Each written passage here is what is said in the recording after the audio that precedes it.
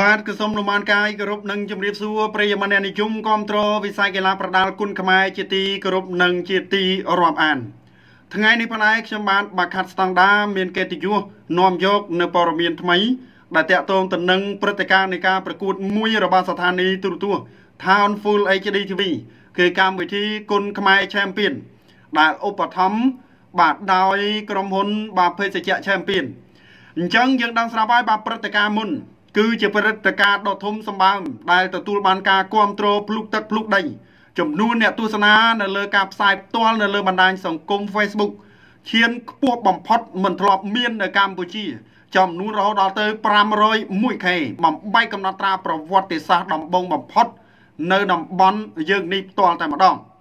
អញ្ចឹងគុណខ្មែរចាំពៀនបានរៀបចំព្រឹត្តិការណ៍ដ៏ធំសម្បើមមួយថ្មី ដែលមាន កីឡាករដែលពោពេញទៅដោយសមត្ថភាព និងកេរ្តិ៍ឈ្មោះល្បីល្បាញចូលរួមប្រកួតគុណខ្មែរឆាំពៀននឹងធ្វើការប្រកួតបាទនៅថ្ងៃទី13ខែសីហា ឆ្នាំ2023វេលាម៉ោង11បាទព្រឹកតទៅអញ្ចឹងបងប្អូនណាបាទថ្ងៃអាទិត្យ13សីហានេះគឺកម្មវិធីគុណខ្មែរ Grand Champion ណាប្រិយមិត្តណាបាទ Grand Champion ដោយការប្រកួត បាទគូទី1គឺការប៉ះគ្នារវាងកីឡាករអាឡិចសាន់ត្រូមកពីប្រទេសប្រេស៊ីលកូនសិស្សមកពីក្លឹបខ្លារខិនមានរិទ្ធត្រូវប៉ះនឹងកីឡាករចောက်សវិននៅក្នុង ការប្រកួត លើប្រភេទទម្ងន់60គីឡូក្រាមគូទី1ការប្រកួតច្បាប់នៃការប្រកួត3ទឹក 1ទឹក3នាទីអញ្ចឹងអាឡិចសាន់ត្រូត្រូវប៉ះនឹងចောက်សាវិននិងគូទី2អេវរៈខំឈិតភូថងត្រូវប៉ះនឹងកីឡាករយូសឺហ្វីមកពីប្រទេសអ៊ីរ៉ង់នៅក្នុងប្រភេទទម្ងន់63.5គីឡូក្រាមប្រកួតគូទី2លក្ខណៈគុណខ្មែរការប្រកួត3ទឹក1ទឹក3នាទី និងគូអន្តរជាតិទី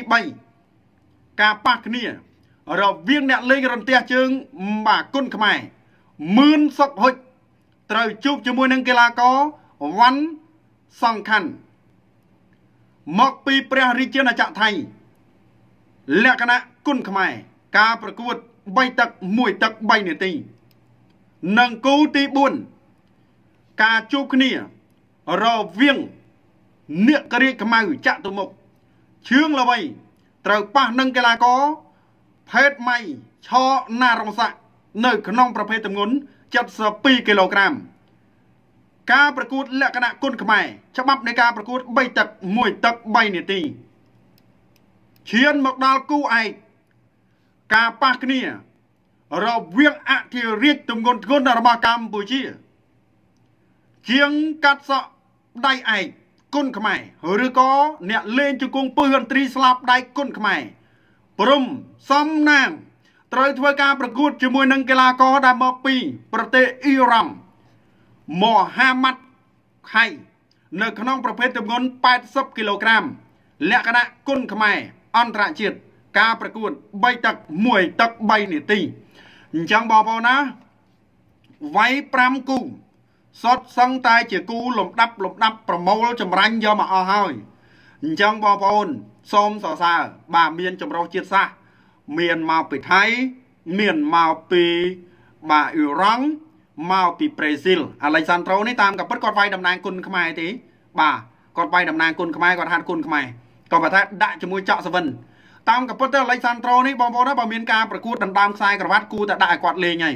ពីព្រោះអាឡិចសាន់ត្រូសមត្ថភាពគាត់ មិនក្រោមលីចម្រើនឬក៏អតីតអេលីតចម្រើននឹងទេដោយសារតែវាយគឺស្មើគ្នាទៅទៀតមិនធម្មតាទេអាឡិចសាន់ត្រូអញ្ចឹងអាឡិចសាន់ត្រូគាត់មានសមត្ថភាព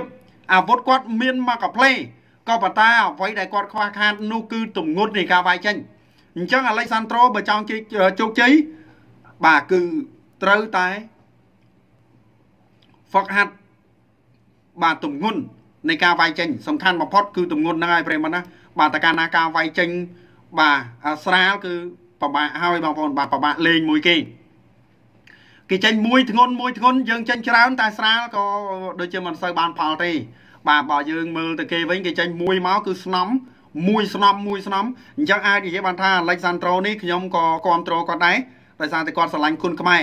គាត់ដំបងឡើយគឺជាសិស្សរបស់ធីអគូថៃសេរាឬក៏សែនច័ន្ទរិទ្ធិគុណនឹងឯងអញ្ចឹងនៅថ្ងៃទី13នេះបាទព្រំសំណាងឈឿងលវី បាទមឿនសុកហុចម៉ឺនមេឃាអាឡិចសាន់ត្រូចកសវិននេះចេញអស់ហើយបាទចេញអស់ពីស្តុកហើយបងប្អូនណាបាទចម្រាញ់ហើយបងប្អូន បាទជើងល្វីយើងដឹងស្រាបាទចាញ់កីឡាកររបស់ថៃបាទទៅគឺមានបញ្ហា បាទគាត់ចាញ់ពីរដងបាទគឺមានបញ្ហាជើងក្រោមនឹងតែម្ដងអញ្ចឹងសង្ឃឹមថាជើងល្វីនឹងពង្រឹងសមត្ថភាពខ្លួនឯងក្បាច់ជើងល្វីមានមកកាផ្លេហើយចិត្តមានហើយដោយឡែកគឺទុនល្វែងក្រោមអញ្ចឹងបើជើងល្វីគាត់ពង្រឹងអាល្វែងក្រោមនឹងទៀត ខ្ញុំហ៊ានអះអាងថាប្របាកហើយរកគូប្រកួតមួយគាត់ដោយសារតែអាវុធគាត់កាចទី1ហើយគាត់វាយធ្ងន់បាទផ្លែកាចផ្លែផ្លែរបស់គាត់នឹងគឺធ្ងន់ហើយកាច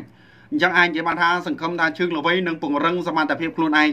បាទនឹងក្លាយទៅជា Superstar ហើយនឹងអាចក្រងខ្សែក្រវ៉ាត់នៅក្នុងប្រភេទទម្ងន់របស់ខ្លួនបានខ្លះនៅពេលបច្ចុប្បន្ននេះជើងល្វីសំបីតែ បាទខ្សែក្រវ៉ាត់មួយគ្រឿងនោះក៏មិនទាន់បានដែរបងប្អូនបាននៅទីណាជើងល្វីគាត់បានទៅត្រឹមលេខ2 លេខ3លេខ2លេខ3បាទណាលេខ2លេខ3លេខ2លេខ3គាត់លេងខ្សែក្រវ៉ាត់ដំបងមកតាមខ្ញុំចាំលេងជាមួយអែមលេងលីបាទនៅបាយ័នណាលទ្ធផលគាត់លេខ3គាត់លេងខ្សែក្រវ៉ាត់ជាមួយធឿនធីរ៉ាគាត់ឡើងទៅបានលេខ2អញ្ចឹងមកថាជើងល្វីគាត់ត្រូវពង្រឹងសមត្ថភាពបន្ថែមទៀតបាទខ្ញុំសង្ឃឹមថានៅថ្ងៃណាមួយគាត់នឹងជោគជ័យហើយបានខ្សែក្រវ៉ាត់ក្រងនឹងគេបាទនឹងសម្រាប់ជើងល្វីកពស់កពលល្អណាស់ស្នំណាស់រៀងរូវ ក៏ប៉ុន្តែបាទរៀងបញ្ហាល្វែងក្រោមបន្តិចគឺជើងនឹងតែម្ដងអញ្ចឹងសង្ឃឹមថានឹងមានការពង្រឹងដោយធឿនធារាគាត់ខ្សោយពោះទឹក បាទធុនរដ្ឋីក៏ខ្សោយពោះទឹកអញ្ចឹងក៏ត្រូវការធ្វើការពង្រឹងបាទអាចចំណុចហ្នឹងបានកើតបើគាត់មិនពង្រឹងទេទៅមិនកើតណាបងប្អូនណាឡើងទៅគេតតទៅហ្នឹងគឺខូចឡើងទៅគេដាក់ទៅហ្នឹងខូចឡើងទៅគេដាក់ទៅហ្នឹងទៀតខូចអញ្ចឹងពិបាកហ្មងណាពិបាកហ្មងអញ្ចឹងខ្ញុំសង្ឃឹមថាកីឡាករទាំងអស់ បើដឹងថាខ្លួនឯងខ្សោយត្រង់ណាហើយពង្រឹងត្រង់ហ្នឹងមកបាទគឺជោគជ័យហើយបើសិនជាយើងដឹងថាយើងខ្សោយតែហ្នឹងហើយយើងអត់វឹកហាត់តែហ្នឹងទេគឺចប់សោកគ្រប់ហើយបាទប្រឈមទៅនឹងខូចតែម្ដងហើយកុំព្យាយាមវាយទៀតបើសិនយើងខ្សោយទៅនឹងយើងហាត់មិនទាន់ល្អយើងកុំឡើងទៅវាយទៀតសោតដូចឈឿនឆៃដែនខ្ញុំស្ដាយបងបងបងណាស់បាទឈឿនឆៃដែនបាទកីឡាករចិត្តសឿងល្អ ក៏ប៉ុន្តែគាត់មានបញ្ហាល្វែងក្រោមហើយគាត់ព្យាយាមធ្វើការប្រកួតបន្តបន្តបន្តឡើងទៅគឺទាត់តំណឹងឡើងទៅគឺទាត់តំណឹងរហូតដល់ឈឿនឆៃដែនខូចជើងក្រោមបាត់មុខពីសង្វៀនដល់សពថ្ងៃដោយសារតែរឿងរ៉ាវការខូចល្វែងក្រោមនឹងឯងអញ្ចឹងបងប្អូនចូលរួមខមមិនបានម្នាក់មួយផងហើយបើសិនជាលើកទៅលើលួសត្រូវខុសដល់ប្រការណាមួយក៏សូមខន្តីអភ័យទោសរងចាំទស្សនាការប្រកួតនៅសង្វៀនថោនទាំងអស់គ្នានៅសប្តាហ៍នេះជាចុងក្រោយសូម ជម្រាបលាប្រិយមិត្តបាទ